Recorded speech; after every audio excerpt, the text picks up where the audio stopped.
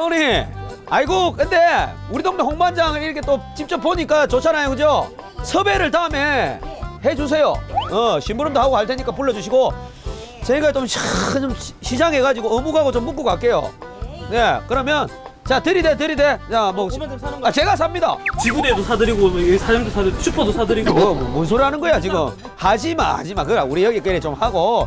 자 그러면 먹고 싶은 대로 먹으세요. 자 우리 작가님도 오시고 장관님 야 오시고 요건 제가 쏩니다. 홍반장이 쏜다. 예. 공짜로 자 이리 와 이리 와. 먹어. 어, 어, 공 공짜 공짜네. 아니야. 그래 공짜야. 먹어 먹어. 어 공짜 공짜.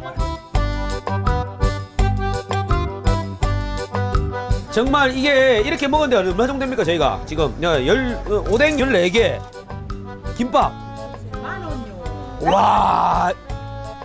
만 원의 행복입니다. 우리 스텝 전체 다 먹고 우리 지나가는 우리 애들까지 먹었는데 만 원밖에 안 넘. 자, 만 원 제가 드립니다. 그리고 우리 동네 홍반장 저희 도움이 필요하면 연락 주세요. 자, 우리 동네 홍반장 연락 주세요.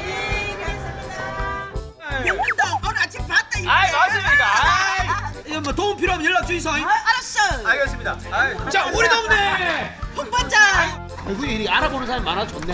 아이고 어머님 족발 연락 주이소. 예.